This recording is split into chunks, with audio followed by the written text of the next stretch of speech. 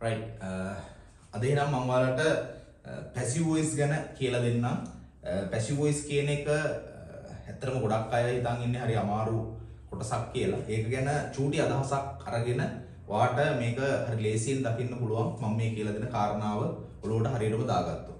Right මම වාක්‍යයක් ලියන්නම් මෙන්න මෙහෙම. මම කුකුල් මස් කනවා. මම කුකුල් මස් කනවා. අපි දන්නවා මේක සිම්පල් ප්‍රසන්ට් ටෙන්ස් වලින් ලියන්න ඕනි වාක්‍යයක්. අපිට මේක කියන්න පුළුවන් I eat chicken කියලා. I eat chicken. මම කුකුල් මස් කනවා. I eat chicken. එතකොට මේ I eat chicken කියන එක ඇත්තටම active voice වාක්‍යයක්. right? මේක active voice වාක්‍යයක් වෙන්න හේතුව තමයි අ, මේකේ අ, මේ eat කියන ක්‍රියාපදය මේ I කියන මේ ක්‍රියාව කරන කෙනාට ගැලපෙන්න තමයි තියලා තියෙන්නේ. එතකොට active voice වාක්‍යයක් කියලා කියන්නේ අන්න ඒ වගේ එකකට.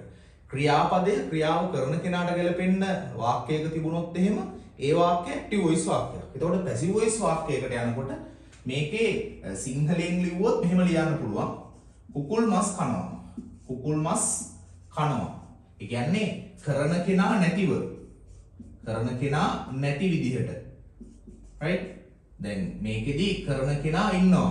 කරන කෙනා ඇති. එතකොට මේක අපි ලියනකොට අපිට ලියන්න වෙන්නේ කුකුල් මස් කියන එකෙන් තමයි පටන් ගන්න වෙන්නේ. chicken කුකුල් මස් කියන එකෙන් තමයි පටන් ගන්න වෙන්නේ.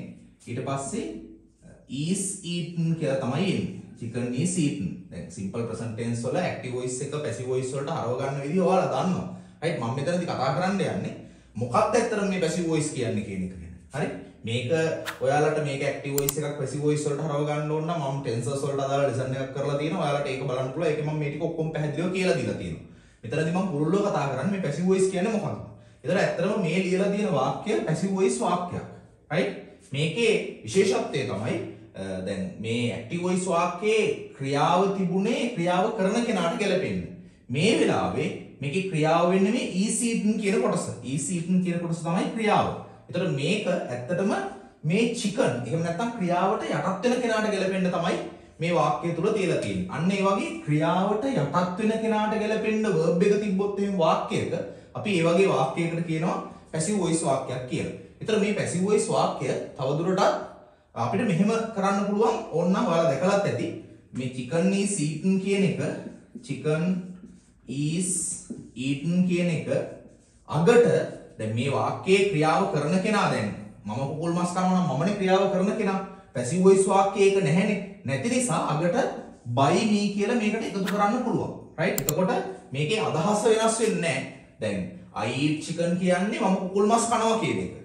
Chicken is eaten by me කියන්නේ මම කුකුල් මස් කනවා කියන එකම තමයි. එකම අදහසක් එකම අදහස එකම චිත්‍රය කියලා තියෙන්නේ ක්‍රම දෙකකට. ඉංග්‍රීසි වලින් active voice විදිහට කියලා තියෙනවා passive voice විදිහට කියලා තියෙනවා එකම අදහස. Right? I eat chicken කියන්නේ මම කුකුල් මස් කනවා.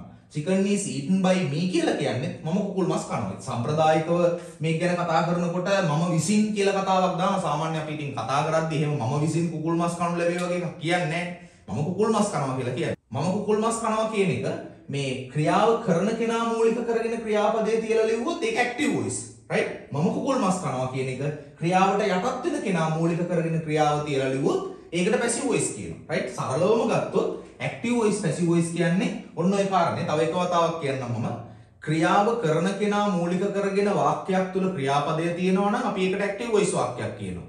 ක්‍රියාවට යටත් වෙන කෙනා මූලික කරගෙන එයාට අදාළ වෙන විදිහට ක්‍රියාපදය තියෙනවා නම් අපි ඒ වෙලාවට ඒකට passive voice කියලා කියනවා right?